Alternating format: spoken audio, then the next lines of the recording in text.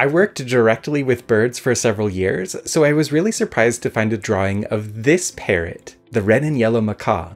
There is no modern species called the red and yellow macaw, and it's so beautiful. But what is it? The author of the book writes that this bird is in his personal collection and there's no other that he's ever seen, which raised alarm bells. Like, is this a hoax? There are only two living macaws that have primarily red feathers the scarlet macaw and the green winged macaw. The white lower beak is on neither, but both have yellow pigment on their feathers as well as special feather structures that bounce out blue light. If a rare mutation removed those feather structures, then the bird might look something like this. So I'm mostly sure that this bird is a color mutated scarlet macaw, but it might just be an artist's imagination.